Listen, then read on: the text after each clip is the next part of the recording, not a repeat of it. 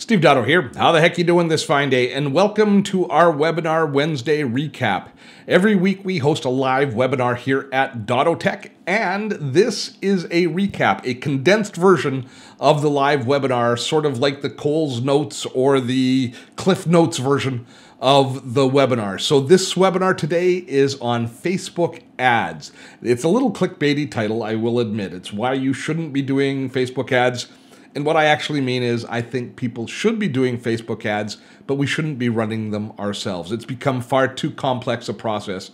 And Facebook, I think, basically takes advantage of our naivete now uh, when we create ads because in order to effectively create Facebook ads, I think it's pretty much a full time job. You have to be doing it all the time in order to effectively create Facebook ads. So, this webinar this week is designed to teach you the basics of Facebook ads so you can understand all of the different mechanisms in place and make good decisions on whether you should be doing them and how to enact Facebook ads. Basically, how to hire professionals that will help you and what you should be spending on them. So, sit back, relax, enjoy today's webinar. But before we get into the actual meat of the webinar, a reminder that you can join us weekly for live webinar Wednesday we host one of these webinars each and every week. The links are in the description below should you choose to join us.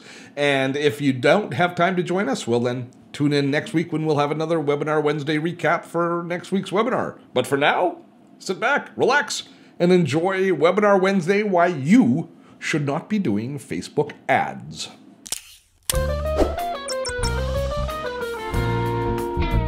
Why I don't think you should be doing Facebook ads. Now, I'm going to admit right off the top, this title of today's webinar was a little bit clickbaity.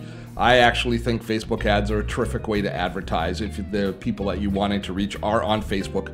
I just think Facebook ads have reached a level of complexity that the average person should not be running their own Facebook ads campaign. I think Facebook takes big time advantage of our naivete by allowing us to run ads uh, when we have absolutely no idea what we are doing. And most people running Facebook ads, I dare say, have no idea what they're doing. And as a result, Facebook once again is taking advantage of us uh, by by basically selling us a bill of goods, telling us this is a great way for us to be promoting our product, when in fact we could be doing far better if we knew what we were doing. Now, having said that, we can understand the mechanisms of Facebook ads. We can understand the things that makes Facebook ads work and the pieces of the puzzle. And I think if we understand in a global aspect how Facebook ads work, we can make better decisions if we want to use them and also what they will do for us. We're going to assume that this conversation today is not about privacy and not about the propriety of Facebook and how much Facebook takes advantage and pries into our life and how accurate a picture they build from uh, of us and how that is an invasion of our privacy. We're going to accept that at this point here today as uh, just de facto. That is the way it is. It's a worthwhile conversation to have about how much data Facebook is gathering on us and Google and all of the other online services. But that's a far more subtle conversation on a different level. Right now, we're talking about Facebook ads and the advertising. So let's just accept that Facebook is going to try and scrape every little bit of information about us that they can and how we take advantage of that ourselves in our own business. Okay? We can all have a shower afterwards if we feel a little bit dirty after doing this. And frankly, every time I use Facebook ads, I do feel like I need a shower afterwards. There's two aspects to the Facebook ads, uh, three aspects, I guess. There's information we gleefully give to Facebook within our profile and our activities on Facebook. Now, we're the, that, those are the ones who are being advertised to. The second piece of the equation is what happens outside of Facebook, how people and how Facebook can track us in our activities outside of Facebook, which allows them to hone in and target on even more specific what we are interested in for our ads. And then the third part of the equation is the person creating the ads, the narrative and the creative and the strategies behind the ad themselves. So we'll touch on all three of those as we work through this right now beginning with our own profile and our own information. Facebook, of course, from the moment you sign up for a Facebook page, Facebook is, or a Facebook account, Facebook is gathering data on you, uh, millions and millions of data points. Every activity you do within Facebook, they track with purpose and they build a very, very accurate picture of you just from your own activities on Facebook. Accept that as a fact. Now, that means that, of course, we have a nice profile built of us, but it also means that if we choose to uh, use those tools, use the ability that Facebook has to target our ads effectively, we can also create an incredibly targeted and um, laser focused campaign and advertising program towards individuals who are likely to be interested in our product. Facebook has something called a tracking pixel, which I or you or anybody who has a website can use to define a far more accurate target of who's interested in their product. What the Facebook tracking pixel does is it's a little bit of code that you put on your own website. And I want you to imagine this scenario. Imagine I'm promoting uh, on my Facebook ads this webinar, the webinar that we are watching right now. Let's say that it's, uh, it's something that I attach revenue to, so I'm happy to advertise it to a community, maybe a cold and a warm audience. So either uh, people who already know who I am, but also people who may not know who I am. And I want to see how many of those people sign up for the webinar who I advertise to. So with the Facebook tracking pixel, what will happen is in people's feed, based on whatever criteria we put forward at the beginning, there will be ads for Webinar Wednesday. And it'll say, join me on Webinar Wednesday. Everybody sees that ad that, that that's in the target group. Over time, it scrolls through their feed. And a certain percentage of those people go, hmm, Webinar Wednesday, that's interesting, and they click on the link. Well, first of all, them clicking on the link tells Facebook there's somebody that they're interested in it. So that is fantastic. But then they go, by clicking on the link, they might go to my page. Now they've moved off of Facebook's page, so Facebook has now lost touch with them. They don't know what's happening. They don't know if they're signing up for the webinar or they're just looking at the information. Uh, Facebook has no idea at that point, unless we put a tracking pixel on our page. Then that pixel, Facebook is able to track their journey through our website by following that pixel. And if we have a pixel where they go to our website, we, that's called a conversion, where they've come to our, they've done the activity that we want. And let's say that you sign up for the webinar, we put a different pixel, or actually it's the same pixel, but just on a different page, on the thank you page. So now I know that X number of people went using my Facebook ad, went to the landing page to look at the webinar, and a subset of those people actually registered for the webinar. So that those are the people who fully converted on my campaign. So my campaign has multiple stages. First of all, to show you my ad, Secondly, to get you to come to my website and hopefully sign up for the webinar. And thirdly, to actually sign up for the webinar. And then I will have a uh, report based on all of those activities that I can say how much it cost me then to, to show it to a person, to get a person to come to my page, and to have that person finally convert. So these tracking pixels are essential when we get down to the granular level of actually dealing with individuals. We also call them retargeting pixels because once the pixel is put on you, we can create a custom audience of just people who the pixel's on, and we can do more aggressive marketing to those people. So that's how, how all that works. Now that's not rocket science, although it's, it is pretty advanced technology. But we're using that sort of technology in a variety of different ways in online advertising. Have you ever wondered why, if you happen to do research and look up a certain vacuum cleaner, that before you know it, uh, all of a sudden in all of your feeds are ads for that vacuum cleaner from a variety of different online retailers. It's the exact same technology in place of tracking pixels, following us through, and retargeting. Retargeting because you've indicated an interest in in the in the product that they are that they are showcasing. So that's how the you know that's kind of the the picture of Facebook ads from the global aspect of advertising in the feed through to the granular aspect of targeting certain individuals and knowing exactly if they've converted into whatever uh, the act action is that you're looking for them to do. So that's how it works kind of at 30,000 feet. But boy, when you get into it, I think you'll see exactly what it is I'm talking about. Um, if you can sign up and you set up your ads manager, I'm going to take you into my ads manager here. And now I'm going to tell you right up front.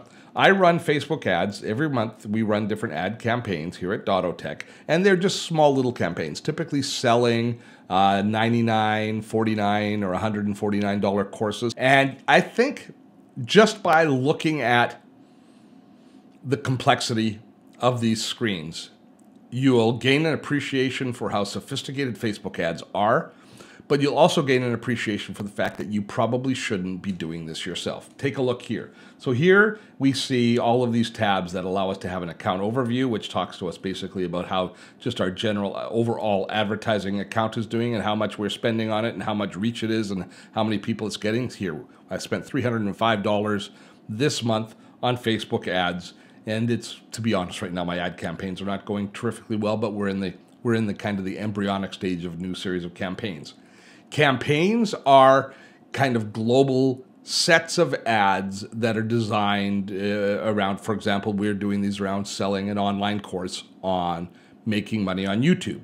The ad sets are collections of ads against those uh, that are part of the campaign that we target to different custom audiences and to different individuals. And then finally, the ads themselves. And if you take a look here, you see how many ads we have running for just one simple little online course. Look at that. So this is where the complexity starts to show its head.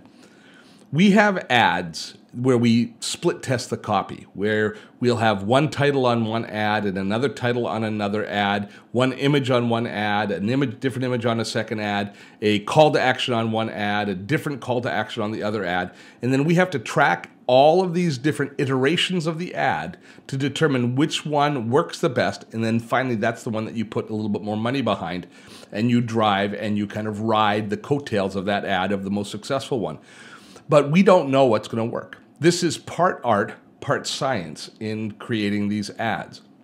So, this is, I think, probably one of the first places that you get a picture of what a ads manager is going to do for you, what a person who's running your ad campaign is going to do for you, is managing all of these different variables in your creative. But that's just the tip of the iceberg. If we go here under the Ads Manager dropdown, and uh, they only show us three things here, audiences, pixels. But if we take a look here, we can see how many different tools and how many different areas uh, advertising managers, Facebook managers have to kind of work their way through and understand in order to run an effective campaign. Audiences are a huge part of how the uh, how a campaign works because out of the millions and millions and millions of people on Facebook, you have to determine which audience works, how you know who you're going to actually send your ads to. So if we take a look here, we have multiple custom audiences that have been created for just for my little venture here at Dottotech. Now these audiences come from a variety of different areas. The first and most obvious audience are the people who've liked our Facebook page. That's pretty easy. Secondly, we can upload all of the email addresses from our newsletter list from our email list, and that creates a second custom audience because a large percentage of our email list people will be using their same email address for their Facebook account so Facebook can identify them. So that creates a new subset of a warm audience that we can target to. So instead of sending out newsletters, we can send Facebook ads that remind people of webinars coming up, for example, should I choose to do that. Then what happens is we take those audiences who have already signed up, either are following us on Facebook we've dropped a pixel on because they've looked at Webinar Wednesday or they've looked at our website or they are on our mail list. And we use that to create larger custom audiences. So if we say we have 2,000 or 5,000 or 10,000 people in, in our newsletter list, we upload that newsletter list, and then Facebook takes that list because it knows so much about the people on that list already once it identifies who they are and it finds a much larger catchment, maybe a million or two million people who are very similar in their tastes to those people. And that's the cold audience that you can start promoting to as well.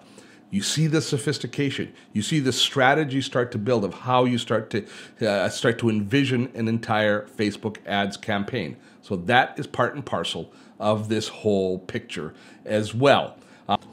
So, the bottom line today, as far as what I wanted to really make sure you understand, is how Facebook ads work. And oh, I was I know what I needed to show you before I go on. I wanted to show you the trap.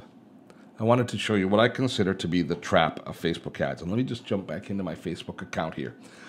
Here's where I have remember how I started things off today by talking about how Facebook I think takes advantage of us often. Here's where Facebook takes advantage. Let me take you to the Dotto Tech page. It's just a business page that we have on Facebook. This is where we post all of our content on a daily basis. Uh, any any new web uh, webinars that we have coming up, any new videos that I've posted, I post them here all on the Facebook page. Now, Facebook, when I post new content here, they try to get me to boost that content. They're constantly asking me if I want to use this content to advertise somehow. Now, they don't have the slightest idea of what I actually want to do with this content. Here's a video that I just posted.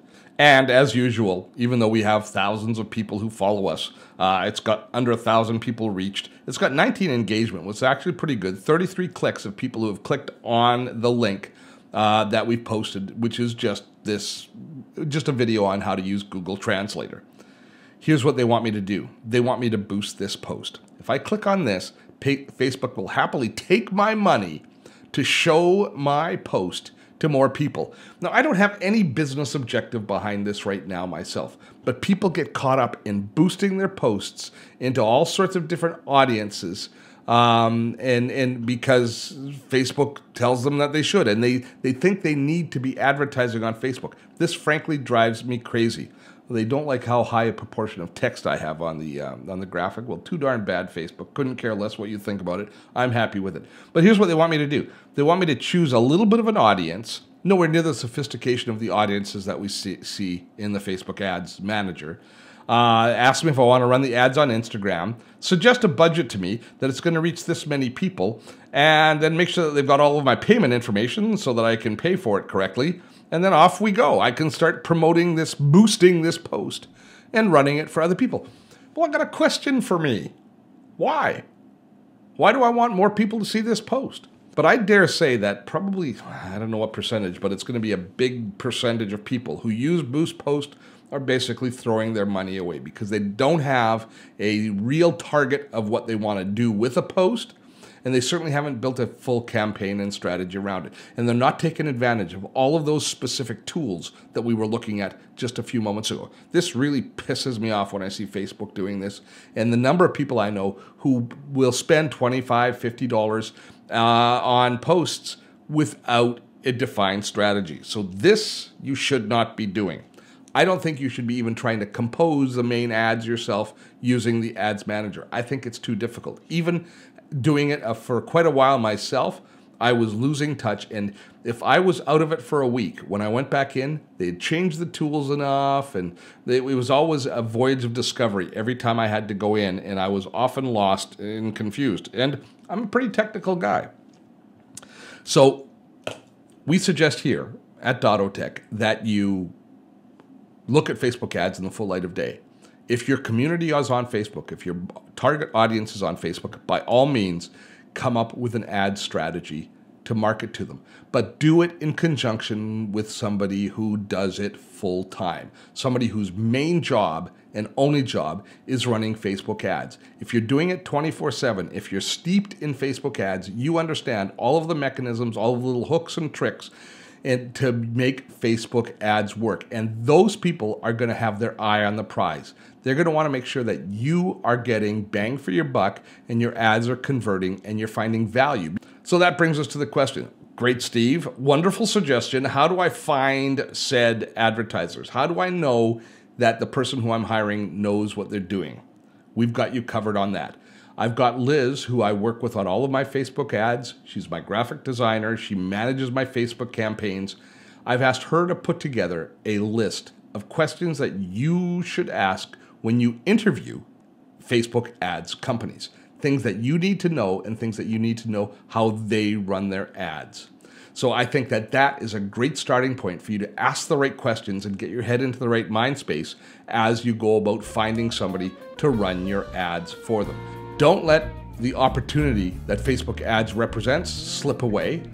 And don't let Facebook take advantage of you by just throwing money at ads without really knowing exactly what you're doing. Bring a professional in and make the ads work for you. I love reading your comments and suggestions, so please post below. I do read every single one. If you like this video, please give it a like and share it with your friends or colleagues who may find it useful. Now make sure you've subscribed and hit that notification bell, and if you have time, check out some of our other videos right over there. Till next time, I'm Steve Dotto. Have fun storming a castle